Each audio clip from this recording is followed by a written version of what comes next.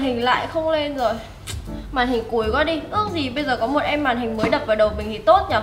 nhưng mà em đấy thì cũng phải cần có chỉ số nền IPS để mình có thể edit video xịn sò. À, mấy cái video vui vui nấu ăn cho các bạn xem ấy mà cũng phải cần có tần số hẹp tầm khoảng độ à, 165 thì mới chơi game ngon nghẻ được. À mà bên đấy thì cũng không thể thiếu được RGB lung linh xịn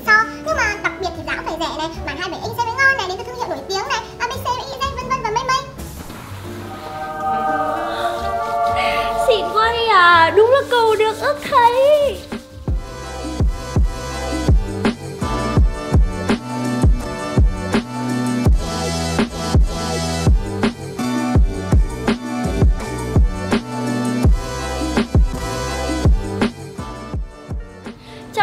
đã quay trở lại với channel của Hà Nội Computer.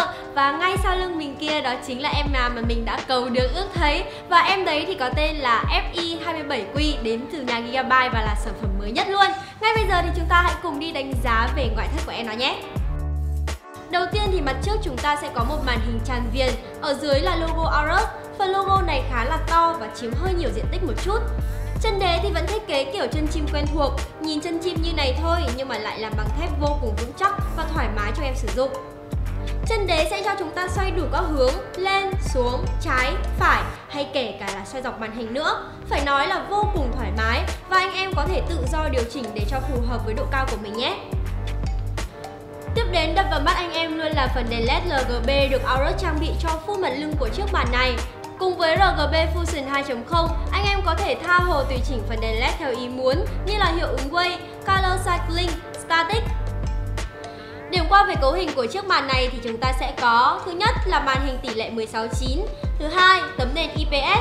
Nói qua một chút thì trên màn hình này được sử dụng tấm nền IPS 10 bit màu, độ tương phản 1000 trên 1 cho chất lượng hình ảnh màu sắc tuyệt đẹp và góc nhìn rộng hơn, mượt mà hơn khi chơi game. Thứ ba, độ phân giải QHD 2560 x 1440. Thứ tư, tần số quét lên tới là 165 Hz. Thứ năm, thời gian đáp ứng là 1 mm giây. Thứ sáu, công nghệ 95% DCI P3 HDR. Và điều tuyệt vời hơn cả là chiếc màn hình này của chúng ta có cả AMD FreeSync cũng như là NVIDIA G-Sync. Cái này thì sẽ rất hợp cho những anh em game thủ nào muốn trải nghiệm những game có đồ họa đỉnh cao và hot hit nhất thời điểm bây giờ đấy nhé. Phía dưới của màn hình thì anh em sẽ có đủ các cổng kết nối như là kết nối loa này, mic, hai cổng HDMI, một cổng DisplayPort và hai cổng USB 3.0 có thể sạc được điện thoại cho anh em khi sử dụng.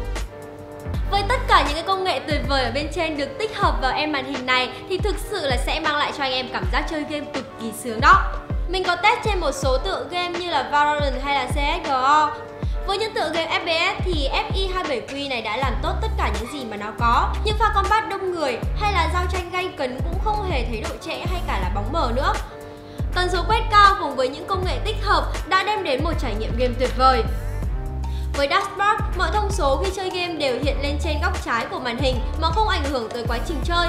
Từ CPU, tốc độ xung nhịp, nhiệt độ, mức sử dụng, DPI, bạn có thể theo dõi tình trạng máy ngay cả trong quá trình chơi game. Một công nghệ nữa tới từ chiếc màn hình này là khi anh em cắm tai nghe và mic vào màn hình thì công nghệ ANC sẽ loại bỏ gần như hoàn toàn tiếng ồn, tạp âm từ môi trường và giảm méo giọng tối đa để đồng đội có thể nghe rõ tiếng mình nhất có thể.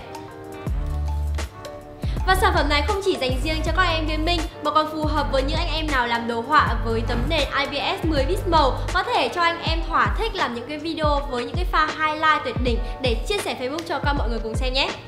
Và cuối cùng thì chắc chắn có một thứ mà anh em đang cực kỳ quan tâm từ nãy tới giờ đó chính là giá bán của một em màn hình với nhiều công nghệ tối tân được tích hợp vào như thế thì có là giá là bao nhiêu phải không nào? Thì hiện tại tại Hà Nội Computer đang bán em này với giá là 13 triệu đồng. 13 triệu đồng thôi đấy.